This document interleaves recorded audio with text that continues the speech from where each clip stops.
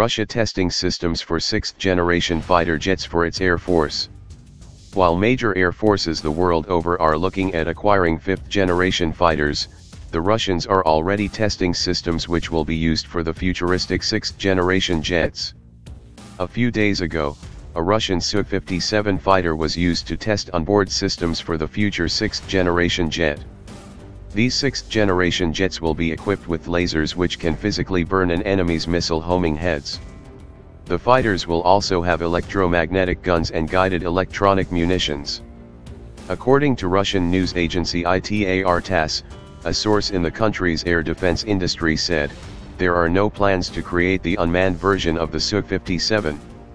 It is currently being used to test some systems of the future sixth-generation fighter jet, which will be a drone in its baseline version and only optionally piloted. The onboard systems include control and navigation equipment and weapons systems.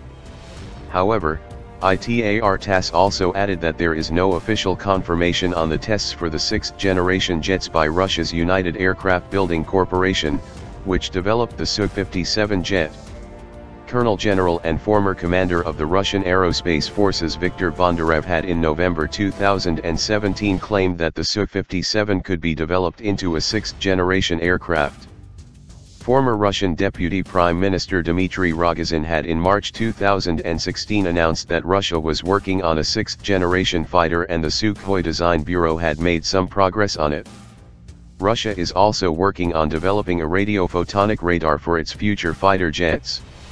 The radar, once fully developed in a few years' time, will be mounted on the sixth-generation jets.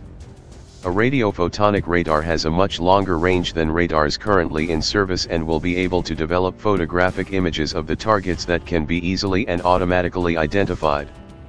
It will have advanced anti-jamming capabilities while being capable of performing electronic warfare missions, transmit data, and be used as a means of communication.